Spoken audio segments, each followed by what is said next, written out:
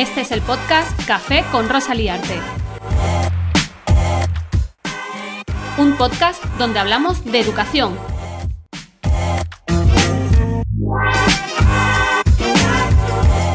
En este episodio me tomo un café con Isaac Pérez, profesor de la Universidad de Granada y experto en gamificación.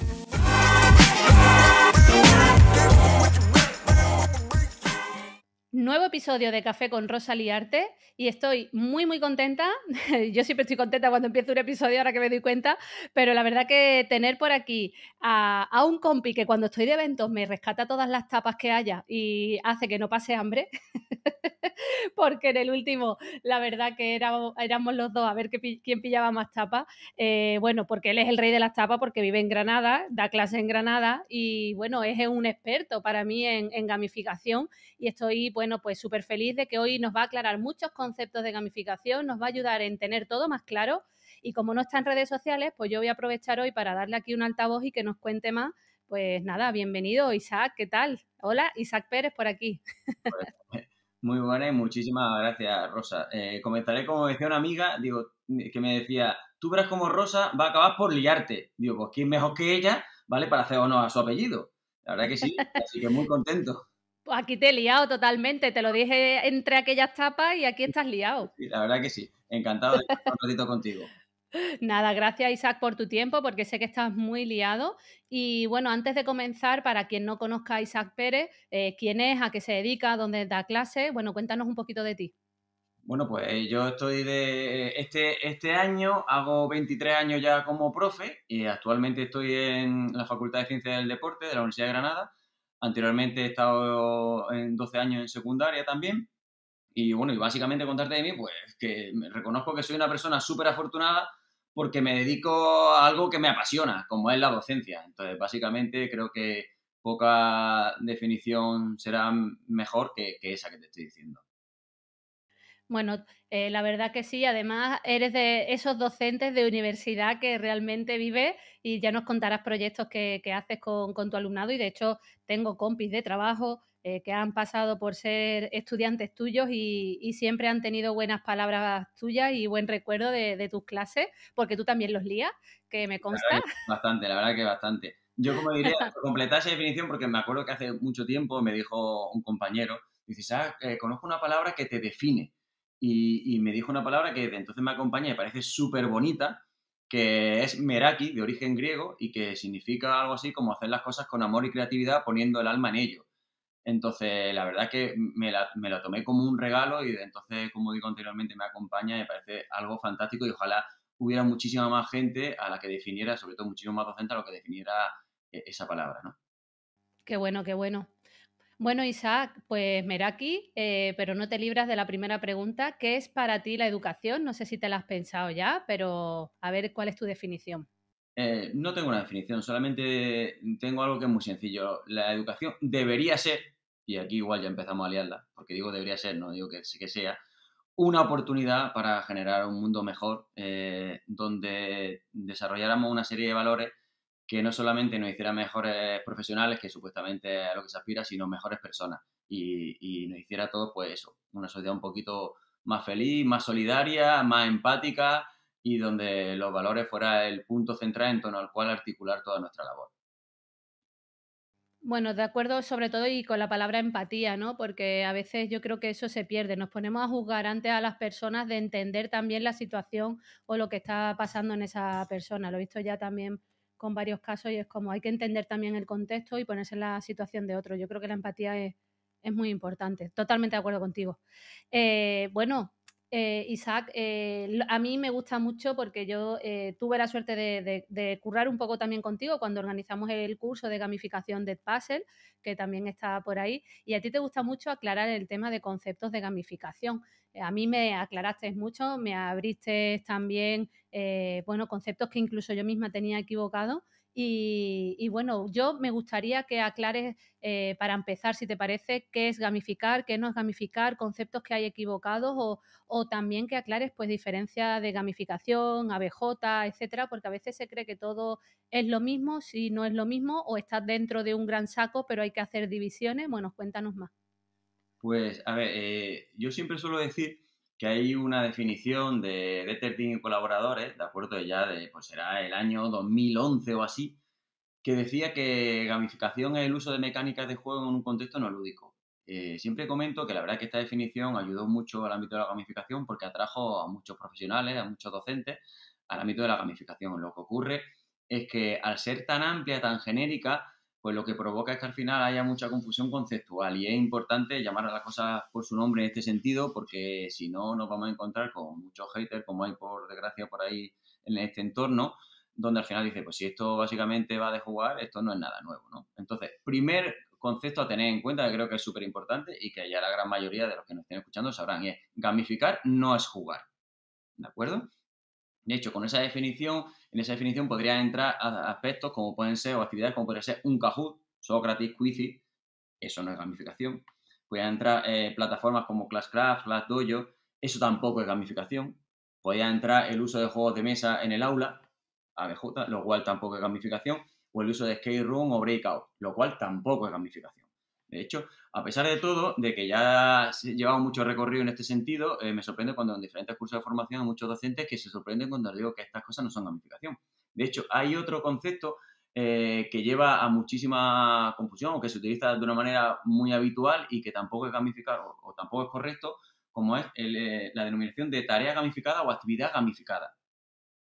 Uno de los aspectos fundamentales en gamificación es que aspira a la consecución de objetivos trascendentes, ambiciosos, ¿vale? Complejos por tanto, una actividad, una tarea, algo puntual, no puede ser una gamificación. Es un contrasentido. Es como decir, eh, ¿qué noche más soleada? Pues no. Entonces, actividad gamificada puede ser una actividad lúdica. Pues estupendo, perfecto. igual que he dicho que anteriormente, esas actividades o esos planteamientos eh, no son gamificación, eso no quiere decir que esas actividades no sean importantes, ya de por sí, porque cumplen una serie de objetivos y en un momento determinado, con un contexto muy concreto, son muy interesantes. Lo que quiere decir, eso no quiere decir que sea igual que gamificar un ejemplo muy tonto que a mí me gusta poner. Si dijéramos que la gamificación es como la Thermomix, no porque sea sencillo, sino porque te permite obtener resultados muy buenos, ¿de acuerdo? Eh, eso no quiere decir que si yo me quiero hacer un café, pues una Thermomix no me viene bien. ¿De acuerdo? Entonces igual me viene bien eh, un, punto lúdico a través de un Kahoot, una, una BJ o un sistema PBL, que tampoco es gamificación, un sistema PBL que muchas veces confundimos, ¿vale? es decir, el uso de los puntos, la insignia, la tabla de clasificación, no son los elementos más importantes en gamificación, son los elementos más habitualmente utilizados en gamificación. Pero con eso simplemente no estamos gamificando. Entonces yo lo que planteo otra definición mucho más compleja, podríamos decirse, pero porque esto de gamificar no es sencillo, que en eso nos metemos más adelante si queremos, pero para ir haciéndonos una idea, yo siempre lo, denomino o la, la comparo a la gamificación o utilizo un sinónimo que para mí es la palabra aventura. ¿De acuerdo? Que creo que es clave para que la gente se pueda hacer una idea de qué supone esto de gamificación. Y cuando hablo de aventura, pues rápidamente me transporto a la afición que ya sabes que me encanta. Y entonces pienso en Aria cuando decide subirse a un barco dejando atrás su, eh, bueno, pues allí la zona, el, terreno o el reino en el que vivía, ¿vale? Sin saber lo que le deparará, buscando pues, al dios de muchos rostros, o Indiana Jones en su incansable lucha por conseguir una paliza de reliquias que no caiga en malas manos, o en Han Solo en Chihuahua en su mil aventura a bordo del halcón milenario, o en Frodo a lo largo de la, y ancho de la Tierra Media, o en Katniss Everdeen en su incansable lucha por el Capitolio, ¿de acuerdo? Es decir, mm, contra el presidente Snow. Todos estos personajes, ¿qué pasa? Que tienen un punto de conexión, ¿de acuerdo? Y es que lo que les sucede, su aventura, se caracterizan por todo aquello en torno al cual se configura en la vida de cualquiera de nosotros, dando eh, permanentemente a tener que estar tomando decisiones, siendo capaces de adaptarse a situaciones cambiantes, sabiendo gestionar las consecuencias de emociones y frustración, alegría, envidia que se derivan de todo ello. Y la gamificación, pues yo entiendo que, básicamente es esto, porque qué mejor eh, contexto de aprendizaje puede haber que uno que dé lugar a todo ello. Pues en definitiva la vida, al igual que nuestra profesión, la de cualquier maestro o profesor, no es más que una asociación de, este tipo de situaciones que debemos ser capaces de afrontar diariamente para ser felices. Es decir, de otra manera, si nosotros planteamos un, proyecto o tenemos un planteamiento donde eh, se generen emociones, hay incertidumbre, sorpresas, situaciones inesperadas, el alumno tenga que tomar decisiones, tenga que gestionar esas emociones, haya crecimiento personal, seguramente estamos muy cerca de lo que es gamificación. Por ese concepto de aventura, pensamos en lo que supone vivir una aventura y eso es mucho más cercano a lo que es la gamificación que cualquier otra actividad puntual como la que he comentado anteriormente. Bueno, realmente entonces la gran importancia de la gamificación eh, es su narrativa, ¿no? Me estabas contando toda esta historia y realmente un poco esa narrativa que en parte también va enganchada con, con el famoso viaje del héroe, ¿no? Esa, ese momento a subidas, bajadas, ¿no? De emociones como estabas hablando, pero creo que ese es el punto, creo que de inflexión importante para que podamos decir esto es una gamificación, ¿no? Ahí está, eh, si, si, te estuviera escuchando nuestro amigo común Pepe Arjona cuando ha dicho el viaje del héroe, estará emocionado por no decir Eso es. ya sabemos lo fan que es, pero evidentemente, como muy bien dice, eh, la narrativa, de hecho, dentro de la propia definición que yo planteo, uno de los aspectos claves que digo es que, bueno, que todo aquello que plantee el docente debe estar coherentemente integrado en la narrativa que haya construido. Por tanto, y un ejemplo que también suelo poner es que si estamos, eh, decidimos incluir cartas de recompensa o beneficio, por ejemplo, imagina eh, una carta mágica que es una poción que al derramarlo sobre un examen te permite anular una pregunta que a los alumnos se le puede motivar muchísimo. Y yo digo, ostras, qué recurso más interesante para utilizar en mis clases. Si yo estoy dentro de una narrativa, por ejemplo, futurista o de Matrix, eso no encaja.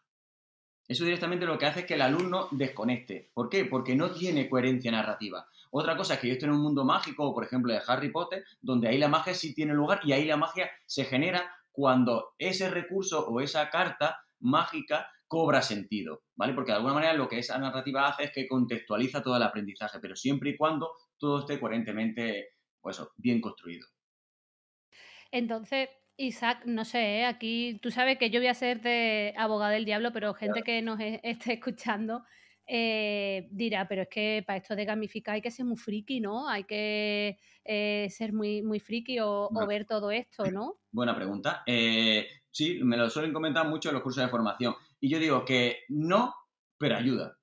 Esto es muy parecido como al uso de la TIC, ¿vale? De la tecnología. ¿Es imprescindible para gamificar? No, ayuda, mogollón. ¿Por qué? Pues sabemos la sociedad en la que estamos y a los chavales le es muy significativo pues todas las aplicaciones, redes sociales, etcétera, etcétera. Pues entonces, esto que tú dices, hay que ser friki, ¿no? Pero sí ayuda mucho tener una serie de conocimientos, eh, por ejemplo, relacionados con eh, juegos de mesa, ficción, bueno, muchísimas otras cosas. De hecho, yo suelo plantearle a mis alumnos de deberes eh, que vayan todo lo posible al cine, al teatro, que lean muchísimo, que jueguen juegos de mesa, videojuegos, porque todo eso eh, le dará un bagaje fantástico, sobre todo para dos momentos clave. Y uno es eh, relacionado con lo que tú comentabas anteriormente, todo el mundo cuando nos ponemos a diseñar cualquier proyecto de estas características, ya que la narrativa es lo clave, sufrimos el síndrome del folio en blanco. Claro, nos ponemos delante del folio y decimos, ¿y ahora por dónde empiezo? Pues fíjate qué fácil, si ser friki significa tener un bagaje mínimo con respecto a diferentes eh, libros o películas, pues sí habrá que ser friki, si no simplemente habrá que ser una persona curiosa. Porque si yo quiero hacer algo relacionado con piratas y digo, no tengo ninguna referencia, ¿por dónde empiezo? Pero si yo, por ejemplo, he visto mm, Piratas del Caribe, ya tengo mucho desde lo que construí mi narrativa. Y otro aspecto fundamental es que si yo juego a diferentes juegos de mesa, ya conoceré muchísimas mecánicas de juego que luego podré incluir en mi propuesta para incrementar la motivación de mis alumnos. Entonces, evidentemente, todo eso ayuda a desarrollar los proyectos de gamificación o gamificación que pongamos en marcha. Aquí otra pregunta. Em, a ti te puede gustar mucho, pues como has dicho, los Piratas del Caribe, o yo, por ejemplo, pues me flipa Mario. O sea, yo me he jugado todos los juegos de Nintendo, soy de Mario, lo, lo ves en mi escena aquí detrás, y, yo me, flipa, pero eh, pregunto, ¿eh? Puede ser que la narrativa, sigo haciendo de diablo, eh, la narrativa que te motiva a ti como docente porque tú eres friki o lo que sea, hablo, por ejemplo, Harry Potter, y que tengas alumnado que luego no tiene ni idea de Harry Potter, ¿cómo haces para que le motive? Porque yo puedo ser una motivada de Mario, pero yo luego llego a mi alumnado y mi alumnado no viene de jugar a Mario, viene que es de Minecraft. Entonces, eh, ¿cómo enganchar esa narrativa que te gusta a ti, de la que tú te has comido la cabeza como docente para montar o toda esa gamificación en tu clase? Y que luego consigas enganchar a tu alumnado que quizás no sabe de esa historia. Como suele decir, me encanta que me haga esta pregunta, eh, porque son las dudas que mucha gente tiene. Pues muy sencillo de contestar, eh, porque eh, normalmente lo que debemos hacer es no llevar a cabo aquella narrativa que nos motiva, sino aquella que motiva a nuestro alumnado. Yo siempre digo que la referencia para construir todo este tipo de proyectos es conocer muy bien a nuestros alumnos. Entonces, evidentemente, si tengo que elegir entre, una narrativa que a mí me motive o que motive a mis alumnos, evidentemente elegiré la que motiva a mis alumnos. Dirás, esa a ti no te motiva, pero si es que no se trata de que nos motive, se trata de encontrar la motivación en aquello que sabemos que nos va a funcionar para lograr nuestros objetivos con nuestros alumnos. De hecho, mm, confesaré, yo no soy el más friki o el, mayor fan de, de, Harry Potter y este año estamos llevando a cabo un proyecto basado en Harry Potter porque a muchos de nuestros alumnos, para nuestros, muchos de nuestros alumnos sí lo es, ¿de acuerdo? Entonces simplemente me he puesto las pilas y encima estoy redescubriendo a Harry Potter porque yo tenía un concepto no muy positivo de él y estoy descubriendo que es un chaval, sobre todo en la primera peli, que merece muchísimo la. bueno, pues ya somos dos, porque tengo un marido muy friki de Harry Potter y fuimos a la Warner de Harry Potter y no me quedó otra que verme todas las pelis y ponerme al día de Harry Potter porque digo, voy a meterme allí dentro y no voy a tener ni idea de lo que veo, ¿no? y lo que tú dices, descubres que yo pues no era algo, ya por lo menos entiendo todo y es lo que dice. Yo también pues aquí a mí me ha pasado, ¿no? De, de preparar gamificación eh, con una narrativa y tener algún alumnado que no, que no le motive y también, bueno, quizás también hacer una primera sesión de contexto para hacerles entender también esa narrativa que van a vivir, ¿no? Porque si, si vas a hacerlo de Harry Potter y no tienen, tienes una clase de 30, pero tienes a 6 o 7 que no tienen ni idea de Harry Potter, creo que también ayuda, no sé, quizás una introducción, una parte contextual para que vaya ese alumnado entendiendo lo que va a vivir a lo largo de las semanas, ¿no? De todas maneras, eh, eh, debemos tratar de que no sea imprescindible conocer la narrativa para que es, y que eso condicione la aventura de, nuestros alumnos, sino que directamente sea simplemente un contexto en el que potenciar su motivación, incrementar su predisposición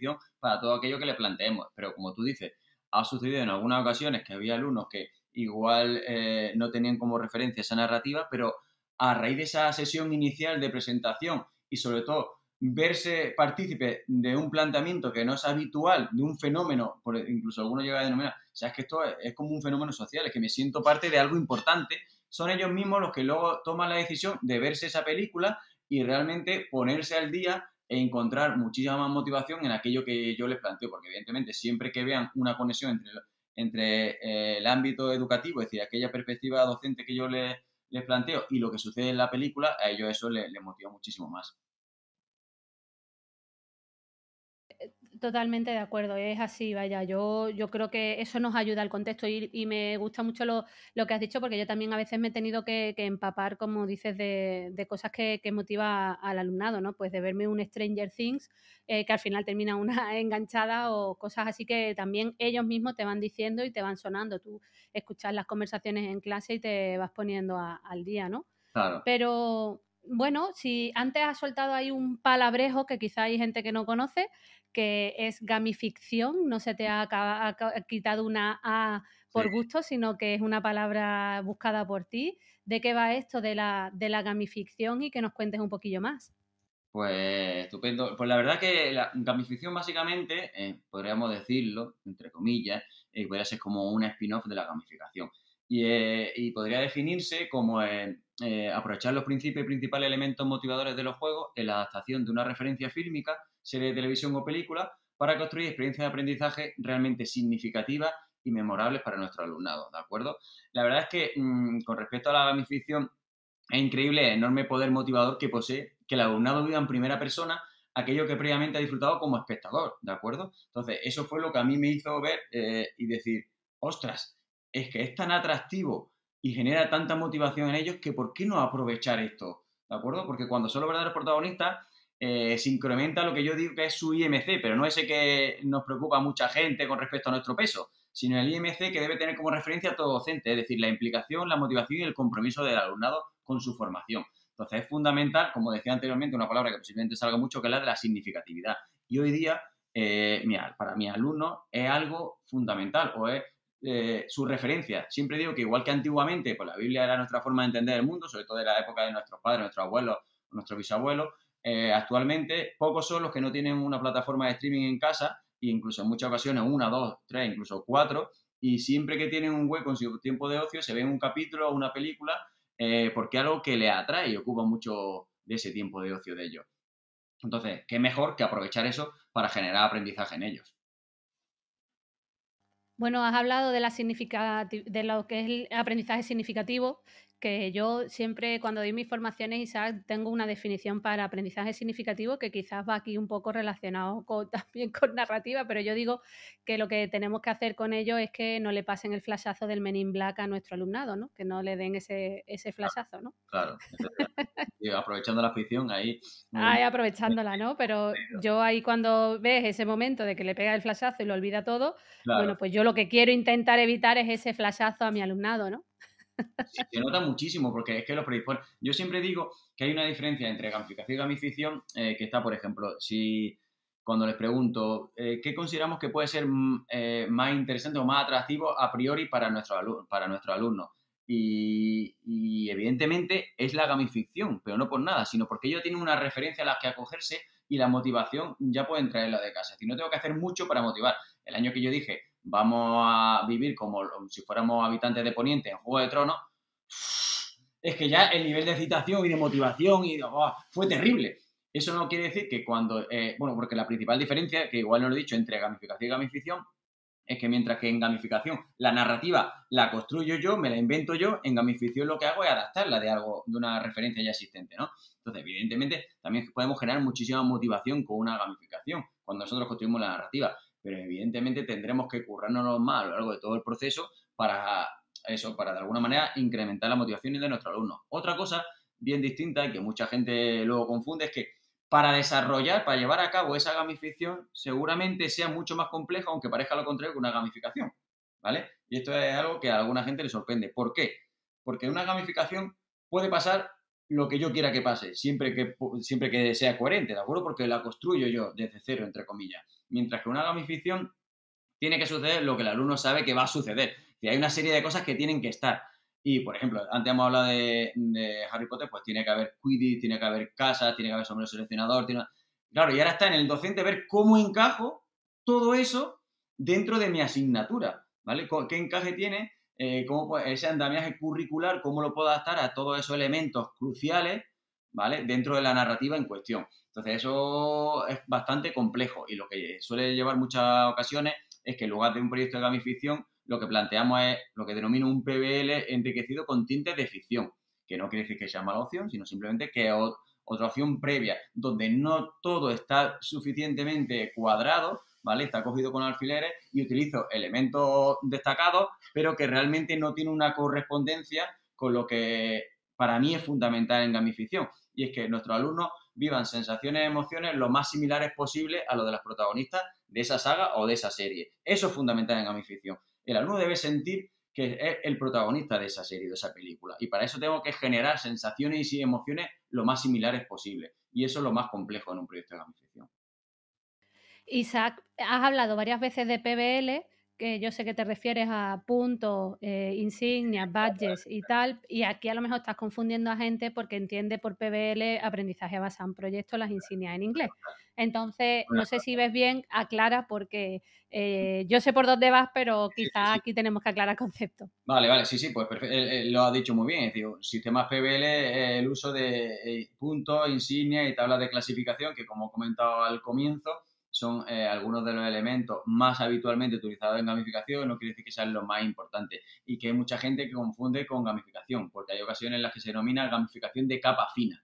Pero eso al final hay gente que, bueno, como viste mucho, por desgracia, esto de gamificar, pues dice, wow, yo estoy haciendo gamificación porque le doy unos puntitos, hay unas clasificaciones, hay una pequeña ambientación que no narrativa porque no se justifican los retos y estoy gamificando. No, no. Está utilizando un sistema PBL, donde lo que se potencia es la motivación extrínseca, ¿de acuerdo? Y la principal diferencia con la gamificación es que aspira a generar o a potenciar la motivación intrínseca, ¿de acuerdo? Ese pequeño matiz, pero que en, realidad es muy grande, igual que dicen que entre el hombre y el simio solamente hay un 1% de diferencia, pero fíjate lo diferentes que somos. Pues evidentemente, aunque parezca una pequeña diferencia entre el sistema PBL y una gamificación, en realidad las consecuencias son muy grandes. Em, que aquí otra vez te hago de abogado del diablo, pero a mí, por ejemplo, yo tengo mi aplicación Apple Fitness en mi móvil y a mí me dan insignias por cada vez que hago un entreno, me pico con alguien o consigo andar más en la cinta o me echo mi 30 entrenos de pádel. Eh, a, mí a mí, por ejemplo, las insignias me motivan. Yo he hecho, yo he usado insignias, claro, con mi alumnado y, traen su motivación. Lo que pasa que si te das cuenta, en mi caso, ¿eh? mi experiencia es que tampoco puedes abusar de ellas. Creo que hay que hacer un buen, un buen uso y no un abuso, ¿no? Y, creo que ahí es donde está la, clave, ¿no? A mí no me dan insignias siempre en la aplicación, pues al igual me las tengo que currar.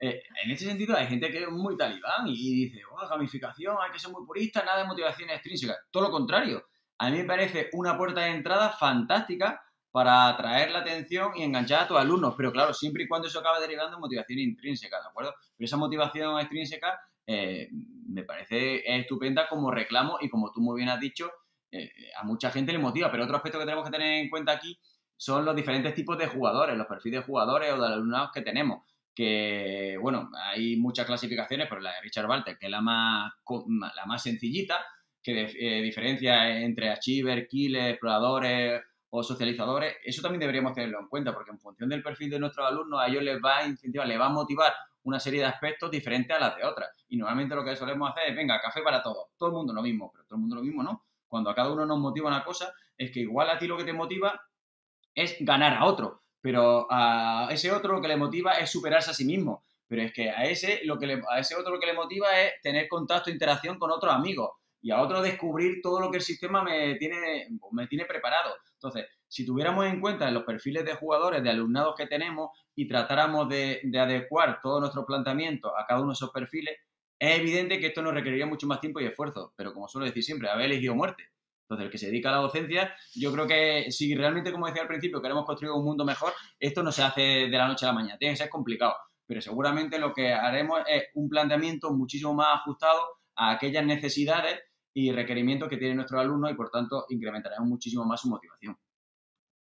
Totalmente. Has hablado de los perfiles de jugadores, que eso viene muy bien. Eh, has mencionado, ¿sabes de algún libro o información al respecto por si hay alguien que le interesa este tema? Porque es muy interesante que, lo que has comentado.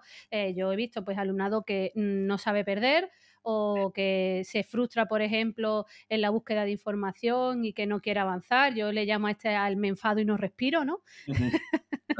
Eh, bueno, pues hay diferentes tipos y yo, pues yo sé el tipo de perfil que soy también de jugadora porque yo soy muy competitiva, pero bueno, eh, más información para saber o saber cómo eh, encontrar el perfil de tu alumnado y, y tenerlo más o menos clasificado, pero en el aspecto bueno para diseñar la gamificación, claro. De hecho, eh, bueno, el más sencillo, si alguien no conoce nada de esto, el que he dicho antes de Richard Barthes, que simplemente son cuatro, cuatro tipos de jugadores, pero luego hay, bueno, hay otros planteamientos mucho más ambiciosos. Pero recuerdo una web, pues si alguien quiere encontrar, creo, creo que Innova Talent, que adaptan ese cuestionario y te permite de una manera muy rápida y muy sencillita eh, saber cuál es tu perfil de jugador. Pero muy relacionado con esto que decimos de los perfiles de jugadores, estaría lo que hemos comentado antes, que hay elementos determinantes de la gamificación o sistemas más extrínsecos, como es precisamente la motivación intrínseca. Y para esto, si la gente quiere leer, pues hay muchísimos autores como eh, los de la teoría de la autodeterminación eh, que habría que leerse, o por ejemplo Andrés Marcewski, o por ejemplo Nicole Lázaro. Eh, todos ellos nos dan pistas sobre qué aspectos debemos tener en cuenta relacionados con, con, la motivación intrínseca. Y en este sentido, a mí que me gusta utilizar, bueno, aparte de los números, me gusta, me gusta utilizar diferentes denominaciones para que la gente, bueno, pues tenga cómo acordarse, yo siempre digo que para desarrollar la motivación intrínseca debemos acordarnos de ACDC y de San Sebastián, ¿de acuerdo? Y la gente dirá, ¿por qué? Digo, porque esas letras eh, nos dan los aspectos clave para desarrollar lo que es la motivación intrínseca. En ACDC, por ejemplo, tenemos la A, que la A debe ser de autonomía.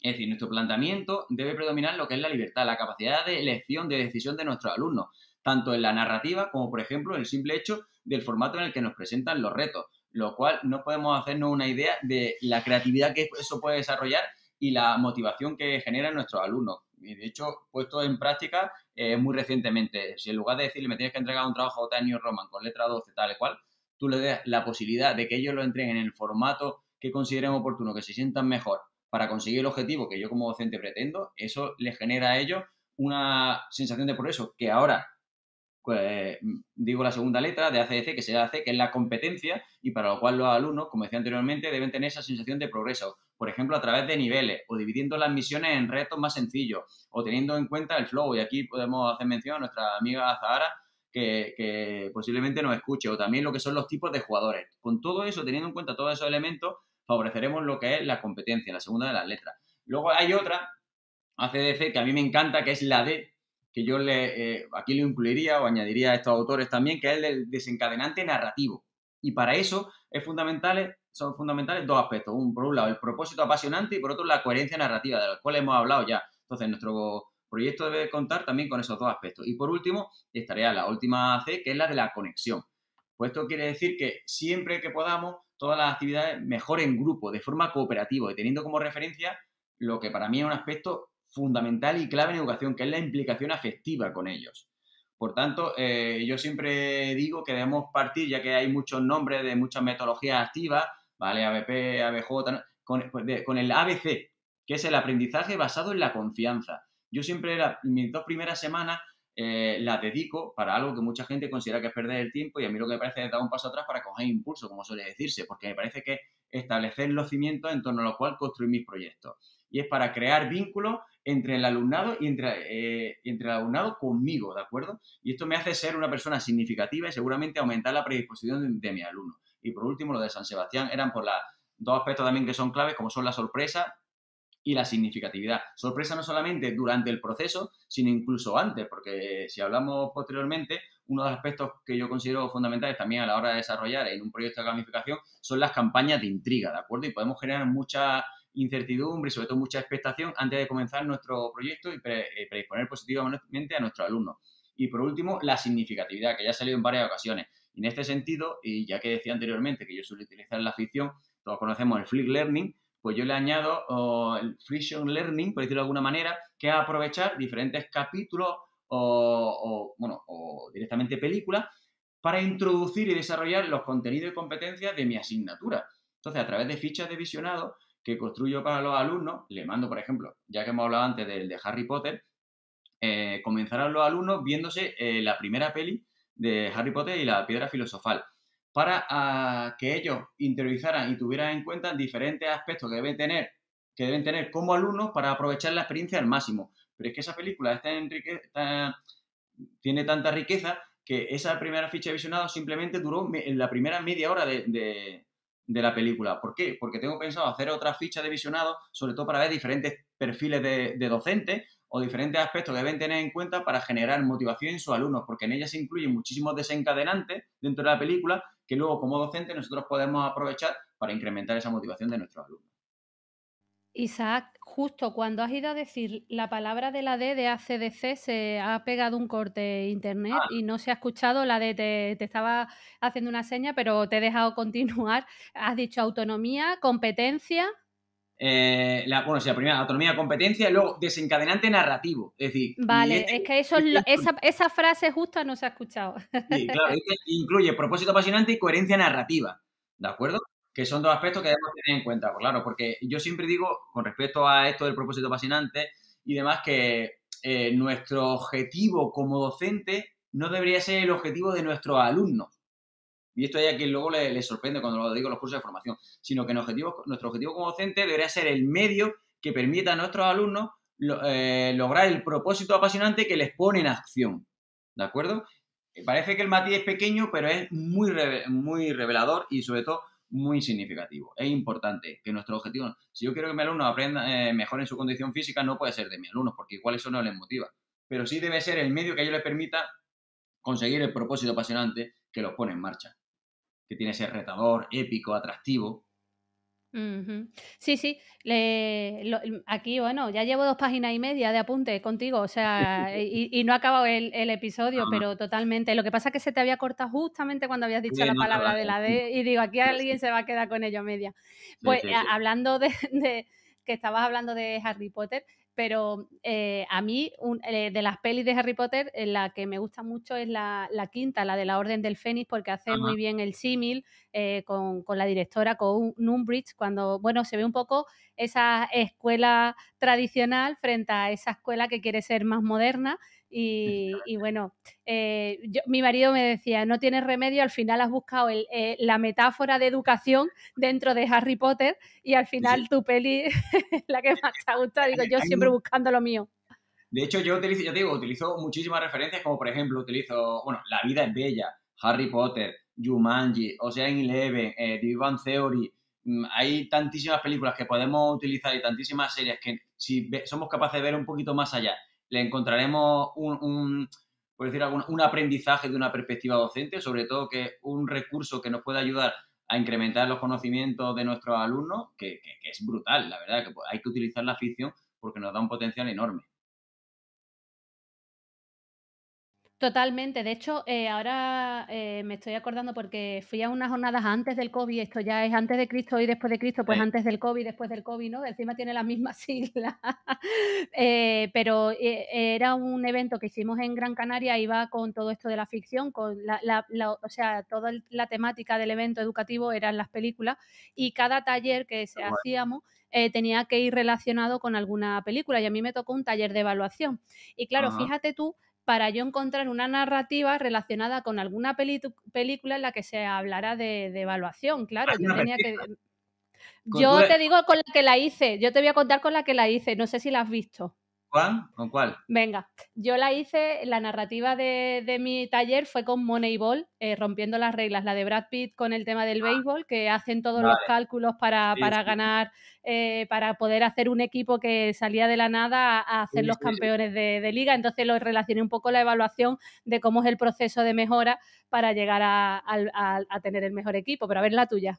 No, pues es que para atrás, a mí, yo uso mucho en clase, que ah, mira, me viene perfecto porque no lo he dicho antes, para trabajar cuestiones relacionadas con la evaluación, eh, un capítulo de Black Mirror, el de caída en picado. No sé si has visto el que a través del móvil se van puntuando. Eh, bueno, pues ese es muy bueno, apúntatelo porque tienes que verlo y es muy chulo, ¿de acuerdo? Es que ahí permanentemente se están puntuando entre la gente. Supuestamente un, sistema muy justo, donde todo el mundo tiene posibilidad de, de, valorar a los demás y en función de eso tienen un nivel de social u otro y es muy heavy lo que se genera y lo que con una excesiva evaluación, o mejor dicho, calificación. ¿De acuerdo? Ahí va, esa va más de calificación y el enfoque. Pero no sé si has visto Moneyball, pero es una peli bastante desconocida de Brad Pitt y es, muy, es muy buena, la verdad. Y mm. aquí te confieso, ¿eh? a mí me cuesta más ver las series. Las termino viendo, pero por ejemplo, aquí yo no he visto Black Mirror. La gente me ha dicho, ¿cómo no has visto tú con lo que te gusta, todo eh, la tecnología y demás? Todavía no me he sentado, lo tengo que hacer, pero sí es cierto que mi manojo de nervios, lo de ponerme a ver un episodio tras otro, me cuesta, Isaac, me cuesta. Yo soy más, me siento a ver una peli y listo. Lo de eh, ocho episodios se me hace muy lento. a veces me desespera eso, pero voy intentándolo superar. Ya, poco a poco, poco a poco.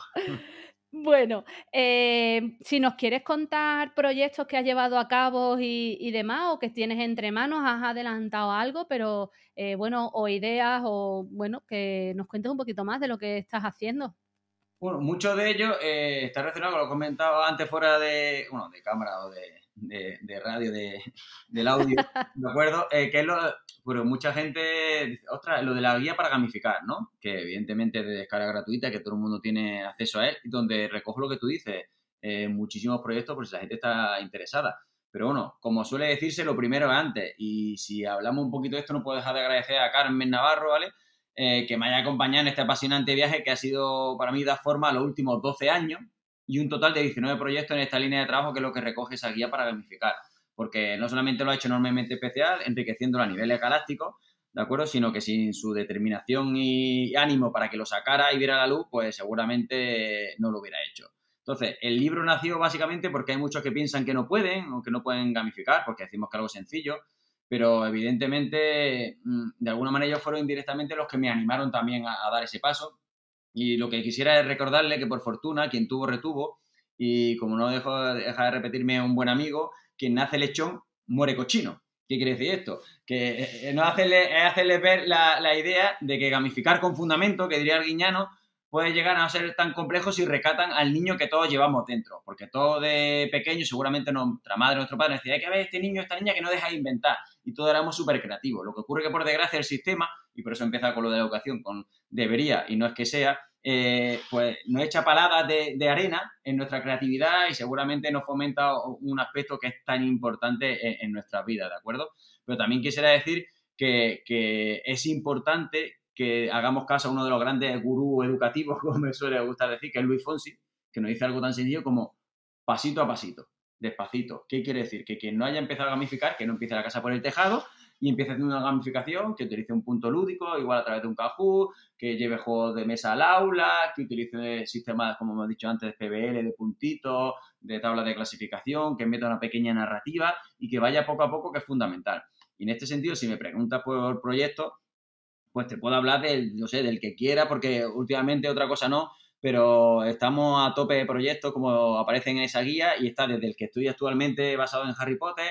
El año pasado aprovechamos y tuvimos como referencia La Casa de Papel. Anteriormente también he llevado a cabo, he adaptado lo que es Star Wars, Matrix, la peli In Time o, por ejemplo, Juego de Tronos o los 100 también, ¿de acuerdo? Por, utilizar referencias fílmicas que la, que la, gente conozca, aparte de otros proyectos de gamificación donde directamente la narrativa yo me la he inventado. Entonces, en este sentido, eh, han sido proyectos súper interesantes y sobre todo donde he podido comprobar el valor de la motivación intrínseca, como digo, porque una de mis mayores fortunas eh, como docente es que al término de estos proyectos son muchísimos los alumnos que me piden eh, seguir colaborando al año siguiente para hacer especial la experiencia a alumnos que igual ni conocen. Y no tienen con esto ni mayor nota, ni número de crédito, no, no reciben nada, sino que quieren seguir aprendiendo, ahora viéndolo desde la otra parte y sobre todo de manera totalmente altruista, ayudar al proyecto para que sea mucho más grande, sea una experiencia muchísimo más enriquecedora para sus compañeros, ¿de acuerdo? Y en muchas ocasiones lo que tengo es dificultad de darle un rol a todos. De hecho, este año tengo alumnos Erasmus que me dicen, Isaac, Isaac, cuenta conmigo. Digo, ya, ya, pero a ver qué se me ocurre a mí para montar contigo, ¿de acuerdo? Algo. Pero es fantástico como los alumnos, después de esa experiencia, quieren seguir trabajando en esta línea. Eh, y sobre todo es muy importante cuando tienes la fortuna de encontrarte con alumnos que creen en esta forma de trabajar y que luego cuando aprueban las oposiciones tienen el valor ¿de acuerdo? O tienen la valentía de, dependiendo incluso del contexto en el que estén, que no siempre es muy favorable, llevar a cabo planteamientos de este tipo. Como por ejemplo, eh, ahora se me está viniendo a, la cabeza Curro, que es un antiguo alumno que eh, está en un centro donde no es el más sencillo del mundo y a pesar de ello está llevando a cabo proyectos de este tipo y con unos resultados fantásticos, ¿de acuerdo? Qué bueno, qué bueno. Bueno, tú lo das por hecho, Isaac, pero yo lo voy a especificar. Si buscáis en Google guía para gamificar Isaac Pérez, os va a salir en el primer enlace libro descargable gratuito de Isaac, que eh, está recién salido del horno y que ahí tenéis un montón de proyectos. Y luego otro que hay también por las redes, eh, que este tiene más años, que ahí es donde yo te descubro, Isaac, que es el de las siete bolas de dragón a los siete reinos de Poniente. También ponéis eh, de las siete bolas de dragón Isaac Pérez y os sale también el libro gratuito. Porque si aquí algo se dedica a este señor es a divulgar gratuitamente y a darnos, bueno, pues estas guías que, son puro oro para entender mucho mejor eh, esto. No sé si tienes alguno más, Isa, si no para yo ponerme a descargar o, que me digas. si quieres descargar, vamos, ya, yo te puedo decir, pero antes de decírtelo te voy a decir el porqué de todo esto y es porque me parece que eh, uno de los aspectos que debe tener un docente es eh, también de alguna manera es el ejemplo para su alumno. Y una palabra que le insisto muchísimo a mi alumno es la, la palabra coherencia, me parece fundamental en un docente. Entonces no puede ser que yo le esté contando todo este tipo de cuestiones y que le anime a ser coherente con su formación y, el valor del altruismo, ¿de acuerdo? Otras películas que hablando de altruismo es la de Patch Adam, ¿de acuerdo? Que ponemos en clase y parece fundamental y que luego, evidentemente, yo no lo haga en mi vida diaria. Entonces, aparte de esto que tú estás diciendo, el de la guía para gamificar, que eso que creo que está, pones paranoia, ISA, barra guía para gamificar y sale, está también el de This is reflejo de una pasión, ¿de acuerdo? Que ahí son simplemente materiales eh, que también realicé junto a Carmen Navarro, donde hay materiales que utilizamos en clase y que están testados, y que hay una última parte que lo tengo aquí, donde incluye 25 eh, menús lúdicos ¿de acuerdo? Muy interesante, no solamente ya para el aula, sino para si alguien quiere en su vida diaria pues, animarse e introducirse en el mundo de los juegos de mesa, pues hay diferentes menús temáticos, ¿vale? Por decirlo de alguna manera, pues tenemos desde a quien le guste, por ejemplo, de la huerta a tu paladar, ¿no? Para los real fooder, pues hay juegos relacionados con eso. O si te gusta la estética japonesa, pues también. O si te gustan los juegos por pareja, o la bella Italia, otro, ¿vale? Un menú para ponerse las botas de alguna manera comiendo pues hay muchísimo, muchísimo juego en este sentido. Y uno, este no es tanto educativo, pero sí recoge de alguna manera mi esencia, que es ensayo sobre la pasión, This is Me, un homenaje a mi maestra, que ese simplemente lo recomendaría como lectura un ratito por las noches o cuando quiera alguien o en la playa, ahora cuando llegue el verano, aunque todavía nos queda un poquito, porque lo que trato es de relacionar diferentes series de televisión o películas con, con la educación. O dicho de otra manera, ¿qué me han enseñado a mí como docente, porque yo considero que es mi gran maestra la afición, que me ha enseñado a mí y que de alguna manera si a alguien le puede servir de ayuda e inspiración para sus clases, pues me parecerá perfecta. Pues todo eso son también de descarga gratuita. Pues ya, yo aquí me lo he apuntado y empezaré a buscar por Google. Isaac, la verdad que Eres toda una caja de sorpresa. Eh, ¿Te habías dado cuenta siempre que eras tan friki o no? Eh, ¿Siempre has sido desde chico así de friki o...?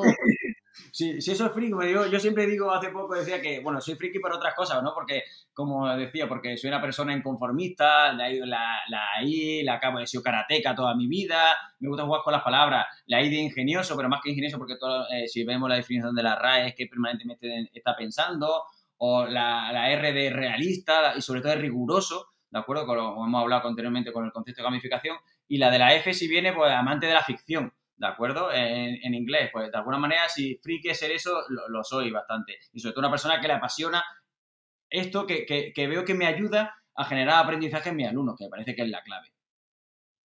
qué bueno, qué bueno. Bueno, pues yo creo que con eso decimos la frase amén, pero no sé si te queda algo en el tintero que quieras decir en el episodio. Pues fíjate, íbamos a hablar también de lo que ha dicho de la guía, al final no hemos hablado nada de ella, de lo, del modelo 1040, que es lo de los 10 pilares junto con los 40 desencadenantes, pero vamos, que yo no te preocupes. Cuenta, cuenta.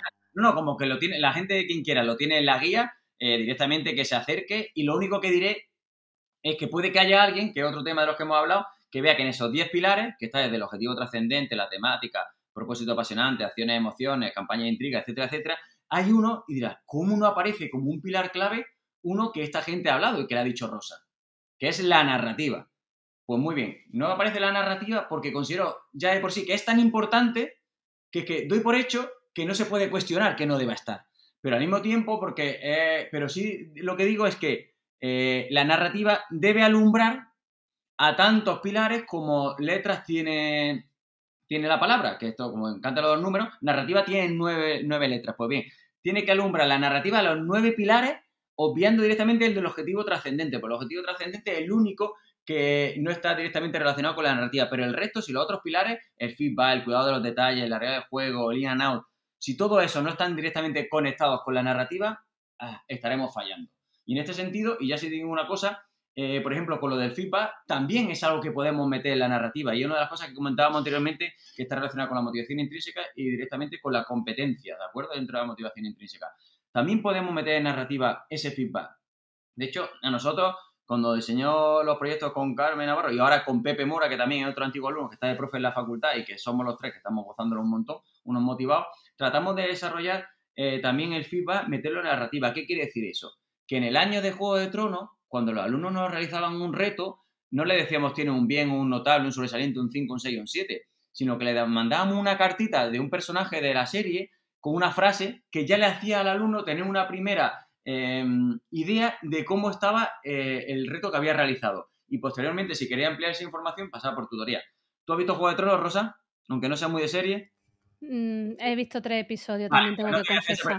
no te lo voy a contar. Bueno, te voy a contar por si hay algún oyente que sí, pero evidentemente, si un oyente recibe la carta de Tower Lannister y eso significa, me flipa casi más que el capítulo de la boda roja, sabrá que el reto que ha hecho ese alumno es la leche, ¿vale? Y sin embargo, en el otro extremo, porque había hasta cinco cartas, si le llega el mismo valor que la palabra de meñique, como no quiero hacer spoiler, para quien haya visto la serie sabrá el valor de ese reto, que es menos tres, por decirlo fácilmente y de forma rápida. Entonces, siempre es importante porque le quitamos e, ese componente negativo que, predispone negativamente a nuestros alumnos de, la calificación, como hablamos anteriormente, y si le da un primer feedback que, al final lo que genera es incluso, si me apura, hasta buen rollo o un pique sano en el sentido de los alumnos me decían, joder, qué ganas tengo de conseguir una carta de Daenerys, ¿de acuerdo? En lugar de conseguir un 7, un notable, un 6. O qué ganas de conseguir un Arya Star.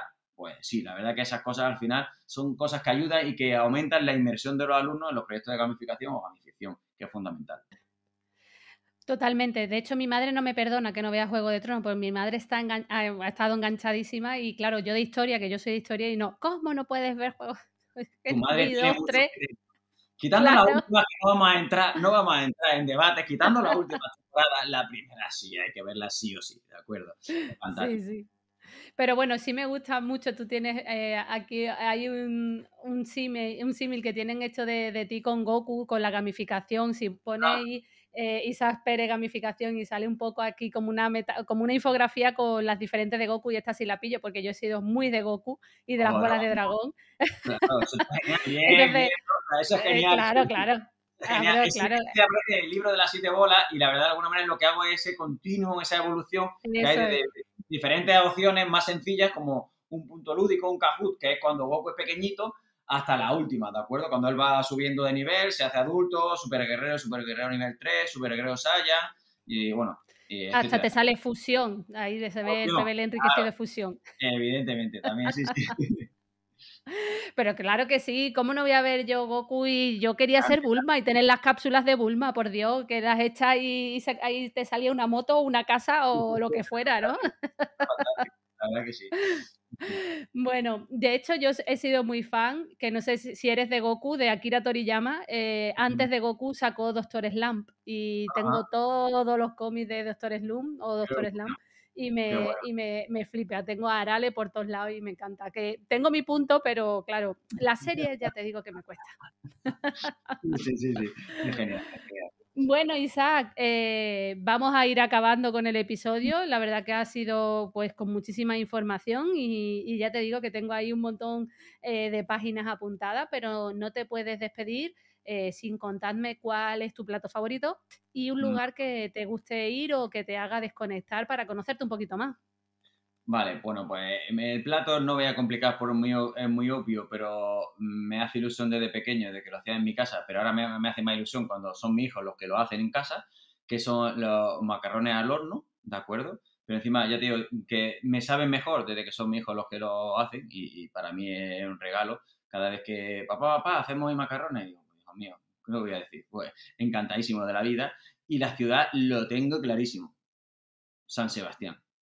Soy un enamorado de San Sebastián y la verdad, sentarme en cualquier mirador, mirando a la bahía, ¿vale? A la playa de la Concha o a Ondarreta y con eh, el monte Urgul a un lado o con la zona del Peine del Viento, que me parece una ciudad para visitar, para pasearla y para degustarla. Y encima que tiene una gente súper agradable. Entonces, soy muy fan de Donosti.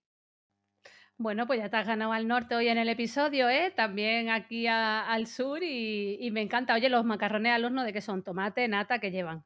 Sí, bueno, y le echan su quesito rallado, le echan sus ingredientes, con, tiene, tienen carne, tiene un poco de foie gras, tiene mantequilla, tiene, tiene ingredientes secretos, como dicen ellos, y que al final lo hacen de una forma muy especial y sobre todo que tiene un sabor... Mm, maravilloso. Y claro, no hablemos ya del arroz, también soy muy del arroz, pero bueno, ahí ya no vamos a entrar. Un arroz negro con... ¡Qué bueno, qué rico, qué rico, qué rico! pues mira, me hace gracia porque tenéis mucho en común Pepe y tú. Pepe es Leonidas Arjona en redes sociales eh, que estamos hablando de Pepe, y yo fui un día a comer a casa de Pepe, Antequera, y no sé si te ha dicho, pero su especialidad son los macarrones al, Pepe, que son también macarrones al horno. No sé si lo sabías tú esto de Pepe.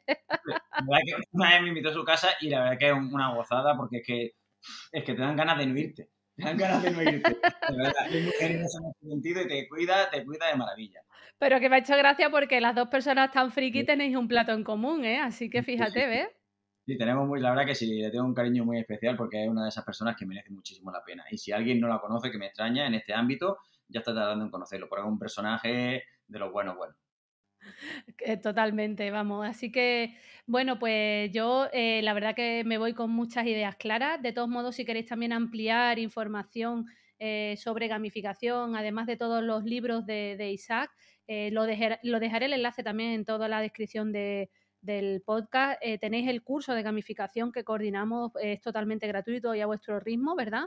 Eh, que hicimos con, junto con el puzzle. Y, la verdad que eh, ha quedado muy claro porque hay muchos ejemplos con, ideas, también ejemplos de infantil, de primaria, de secundaria, tuyos propios en la universidad también. bueno, yo creo que ayudará mucho y que de aquí saquemos claros los conceptos que realmente un poco es esa lucha tuya, ¿no, Isaac? Dejar claros esos conceptos y, y que tenga el profesorado claro cuando diseña pues todo esto, ¿no? Así que desde aquí darte las gracias, Isaac, por todo lo que difunde, por todo lo que aportas al panorama educativo, sobre todo a, toda esta rama eh, de gamificación y gracias por tu tiempo por estar hoy aquí conmigo. Bueno, muchísimas gracias a ti por la invitación, por la verdad que, que es una gozada y sobre todo tiene una conversación súper agradable y ya sepas que la próxima vez que venga a Granada y si coincidimos en un evento, que las tapas las tienes aseguradas, vamos, que vas a tener ahí. No, lo tengo clarísimo, lo tengo clarísimo. Y, con dos frases simplemente, que, que me gusta, soy muy de las frases también, y me gusta decir, que creo que no la he dicho anteriormente, y hay una que relacionada con lo que he comentado al principio de la palabra Meraki, que es sin afecto eh, no hay efecto en educación, que creo que eso deberíamos tenerlo muy en cuenta, sobre todo en el ámbito universitario, donde a muchos les cuesta bajarse de la tarima y tratar eh, de una manera mucho más cordial a nuestros alumnos, por desgracia, y otra que tengo claro y que viene muy bien a la hora de gamificación, y es que en educación aprender y divertirse no solo, no solo es posible, sino el mejor modo de no arrepentirse. Qué bueno. Bueno, pues yo creo que chapó la despedida. Así que mil gracias, Isaac. Y, nada, estas dos me las apunto también. Había cerrado la libreta, pero ahora paro y las apunto también. muchísimas gracias y ya está. Y ojalá que, que, bueno, ya hablando de frases, ya que hay otro por ahí, pues si alguien se anima, que una de Antonio Machado, que suelo ponerlo siempre en mis presentaciones, hoy es siempre todavía. Es decir, que la gente que todavía no se haya iniciado en este ámbito, en el ámbito lúdico en general o de la gamificación o gamificación en particular, que es posible. Porque seguramente, si recordamos cuando éramos pequeños, como he dicho anteriormente, no hay nada más bonito que, los juegos, donde nuestra implicación, dedicación y compromiso era absoluto. Pues entonces, ¿qué mejor que aprovechar el potencial lúdico para generar aprendizaje en nuestros alumnos? Que se anime, que merece la pena y mucho. Totalmente de acuerdo. Bueno, pues un abrazo, Isaac. Ojalá verte pronto en persona y pues nos vemos en la siguiente. Pues nada, encantado. Feliz día. Chao, chao.